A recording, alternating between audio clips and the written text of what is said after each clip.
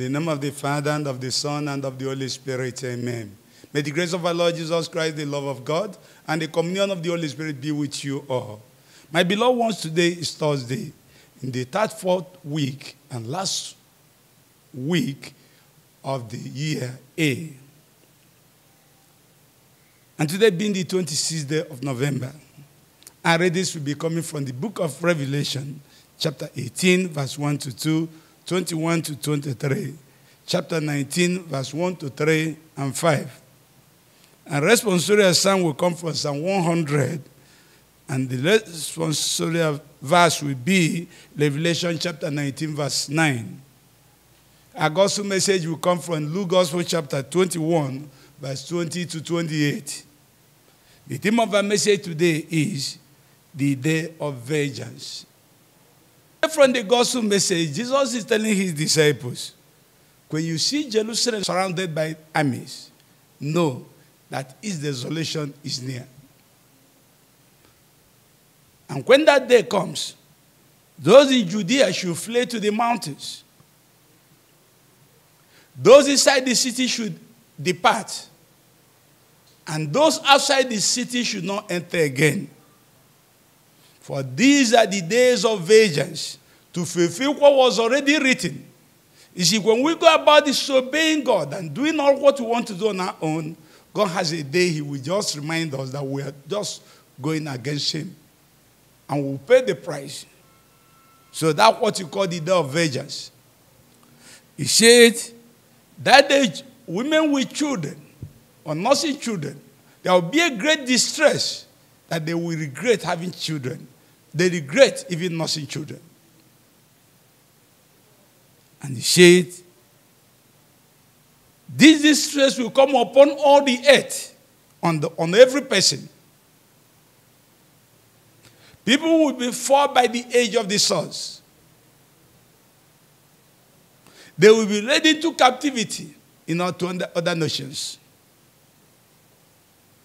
Jerusalem will be trodden down by the Gentiles until the day of the Gentile is over. The Gentile world we regard it to as the pagan world, the barbarians who don't know the truth. There will be great signs in the sun, in the moon, and the stars. There will be great distress on the nations. That people will even faint because of what is coming.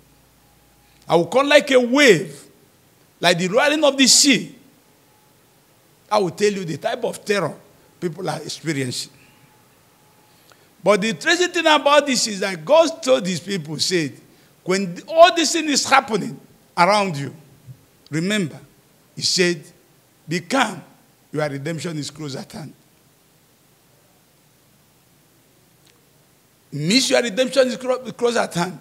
You are now being proved. You, you who is rejected by others, those who reject you now are perishing. You will now stand out like the day of the Noah. They will arrive at him, making a mockery of him, doing their own thing until he entered the ark. And it's all lamentation for them.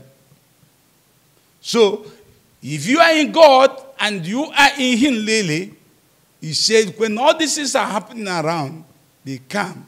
Your redemption is drawing near. So, as others are sorrowing, it becomes your joy. And that's why today, to show you the day of vengeance, Babylon is a great city. And the city every person look upon. And John saw a vision. He saw an angel from heaven having great authority. And the earth was made bright by his splendor. And he called out with a loud voice, saying, Falling, falling, Babylon the great city is fallen. He said, have been a dwelling place of all the demons, a haunt of every foul spirit, a hunt of every fowl, and hate birds. He said, then, in face, just describing what Babylon stands for, it becomes a center of demons and evil things. Just like Nigeria is now the center of all the demons and evil things, where anything goes. That was the way of the Babylon then. Filled with crimes and evils. They say then they, one great mighty angel came with a big stone, like a millstone in her hand, and she threw it to the sea and said, That's the way Babylon will be destroyed with violence. He said, The city will be found no more. He said, The sound of the harpists and flute and trumpets will not be heard anymore in that city. He said, All the craftsmen and all the craft work will no more be heard in the, in the town anymore.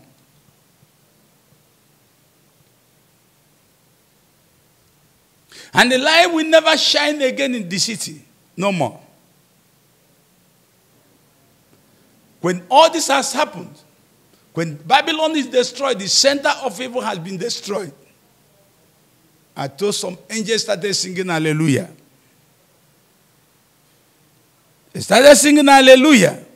The salvation and glory of our God has come.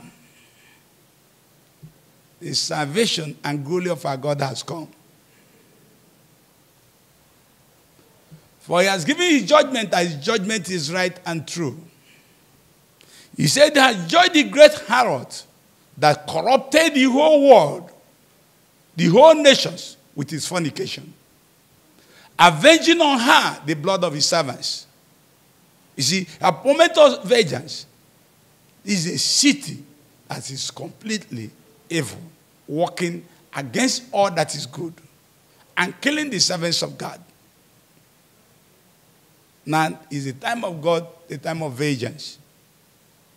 And are now destroyed. And the angels are now singing the glory of God. That his judgment is true and right. And judge the harlot who lead all nations, corrupt all nations through her fornication.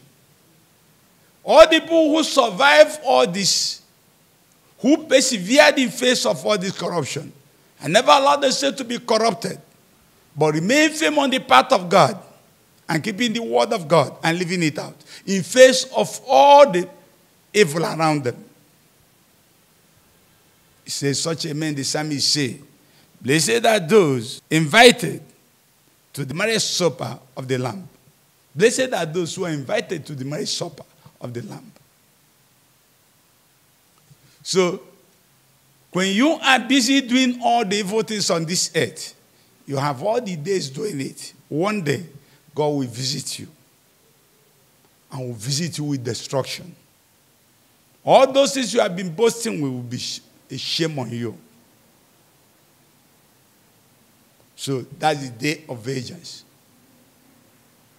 of God's anger upon people who reject Him and mock Him and ridicule Him, have no regard for Him, and never go His way. But we ask God to give us the grace to persevere by not allowing all the corrupt world around us to deceive us or mislead us, but remaining firm on the path of God in face of all the, all the evil around us. So that on that day, when they are being destroyed, we know our salvation is close at hand. We know our redemption is close at hand.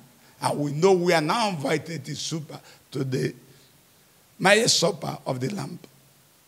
We reign with him, we live with him. We ask God to help us attain this at this last time through Christ our Lord.